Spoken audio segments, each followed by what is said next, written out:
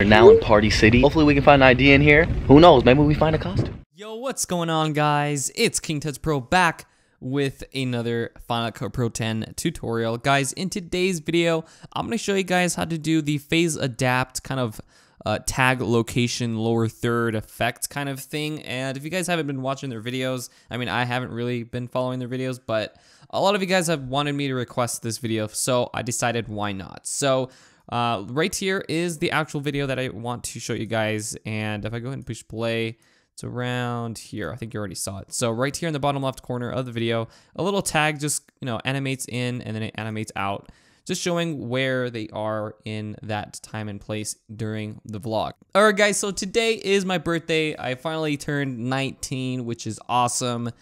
Um, it is the 25th of October, or depending on when you're watching this, but most likely you're watching this on a Wednesday, which is, you know, my birthday, which is awesome. So, um, thank you guys for sticking around and everything. You guys are the best subscribers in the whole entire world. So, uh, let's go ahead and look at what we have. So, right here we have um, Austin from the Ace family. I did take a small portion of their video from a vlog, and I'll have everything linked down in the description so you guys can follow along with the tutorial as I uh, go through the steps and everything. So right here you can see the tag.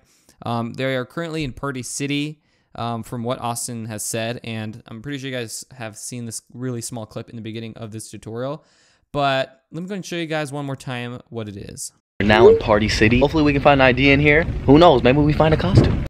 So that right there was that little tag, little uh, and a kind of like a tag animation. He's just talking right, and then he mentions he's in Party City. So if you're gonna be using this in a vlog and you're gonna be, you know, going to different places or different locations, it might be kind of, you know, nice to add a little, a little animated thing to keep the viewer watching. So to do this is very simple. So I actually created a little lower third, a little location tag in Photoshop because I couldn't find anything that was related. So I'm pretty sure they've created this by hand. And I did too. I've created it for you guys because I'm nice that way. So um, the download link will be down in the description. So download this one, location tag king. Um, mine says two, but I messed up, so this is my second time doing it. So uh, um, go ahead and cut that out and delete it.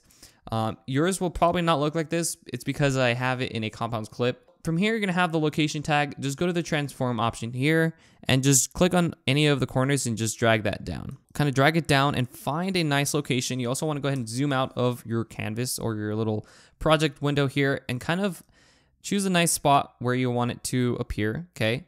Now you're gonna you're not gonna have it there, okay? So right where the time head is, you want to move that to the very beginning of the clip. That's where we're going to add our first keyframe. So right here is where we're going to place it, right? But we want it there. We don't want to start it there. We actually want to start it out of the frame. So it would make sense, right? Because we want it to come in into the video. So from here, now you can go ahead and add a keyframe with the location tag selected. So click on the, um, before you actually do that, before you do that, you want to go and add your text first because this will be very useful. So go to the text and go to custom. So go to custom, drag that on top of your clip. This is very important that you do this all in one step because if you don't and you do everything else individually, it will be a pain in the ass. So delete that and you're gonna have custom. So this is custom right here and we have the tag right there, right? So we wanna go ahead and change the text. So select the text that you added on top, go to the inspector window and in the inspector window, you're gonna have the text, right? So just change it you can also change it here. What I like to do is I just like to go and actually I'm to move this back up so I know where this is to be. So click done and I'm to go to the text and I'm to change it. So I'm to say he's in Party City like that. And then they change, I'm not sure what font they used. I think it's Helvetica regular. If you guys have a similar font that you guys have found that they used, be sure to use that. That'd be nice. But I'm not going to go ahead and, you know, copy everything. So go to the color and drag this slider all the way to the to the black side, which will turn the text black. And then drag the text to the uh, to the actual tag location or the little animated picture. So once you're done with that, go to the size and just make this smaller and drag this so it's kind of perfectly aligned in the middle. Nothing's more annoying than having it not centered correctly. So if we zoom in or kind of make it to fit, this is what it will look like, right? But now we got to animate it. So before you do anything else, you want to go ahead and make a compound clip so that they both move at the same time together. If not, and you do it individually, that's going to be a pain in the butt. So right click, go to new compounds clip or option G. I'm just going to name it tag and click OK. So now it's all in one clip. So you can move it. You can literally, and when I mean literally, you can move everything, which is nice. So now all we have to do is just animate it. So go and click on the transform option, zoom out of your time or your little window here, drag this down as, try to keep it as straight as you can. And then, then all you got to do is click the plus icon to add your first keyframe. Then on your keyboard, on the right arrow key, you want to go five frames to the right. So one, two, three, four, five, or six. We're at six frames at our first keyframe. So now we're gonna drag this back up. Let's see if we did that right. Yep, we did. So we added our first keyframe. You know you did it right when you see a little red arrow with, or the red line with the arrow pointing up. So it goes up. So now if I click off of it or command enter and I push play, it's gonna zoom in just like that, which is what you want. Now, of course, you don't want this to stay on the whole entire video because that's pointless. We want it to go back out. So it goes in, and then from here, all you're gonna do is make it go away from, I don't know, like around here. So you're gonna have to cut this video, so, or the clip. So go to the blade, cut it, I don't know, like right here. It's gonna go like that, and then it's gonna go back down, okay? So go to the very start and then go to the transform option, and you can see that there is a um, another little plus icon there. So it reset the position. Okay. So it's going to move a little bit. You guys can change it if you want. Um, I really don't know any other easier way of doing this. Unless you guys have found a way to do this, please let me know.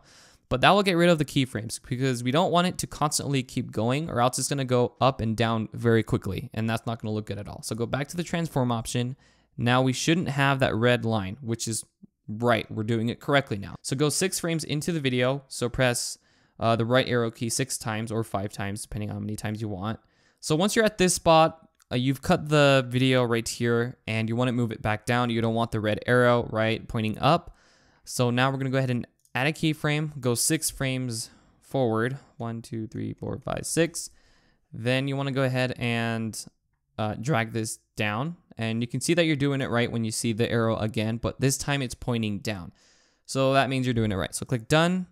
And then now if you go back, you should see that it goes back down. This can be very tricky if you don't really, if you're not really familiar with keyframes, but it shouldn't be that hard. Um, if you guys do need help, I'll be more than happy to reply to your comments. Um, it looks easy like on video, but actually doing it, it's not the easiest thing in the world. But it it's it's it's doable. All right, guys. So once you are done and you have the message enabled, this is what you should get. Now in Party City. Hopefully we can find an ID in here. Who knows? Maybe we find a costume. Which is awesome, guys. So if you found this tutorial helpful in any way, be sure to leave a like, comment down below for any other video ideas, turn on the bell notification to receive um, whenever I post videos, subscribe, and I'll catch you guys on my next video. Peace.